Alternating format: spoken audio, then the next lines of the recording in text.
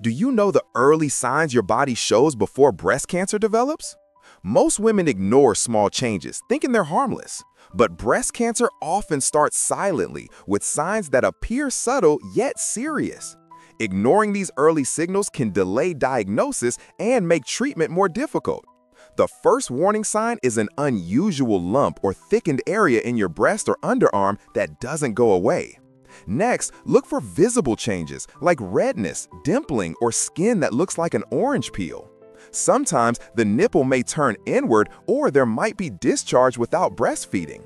Even mild pain, swelling, or a change in breast size or texture can be an early clue.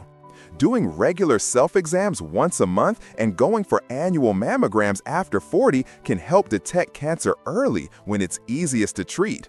Remember, 90% of early detected breast cancers are fully curable. Don't ignore your body's warning signs. Early detection can save your life.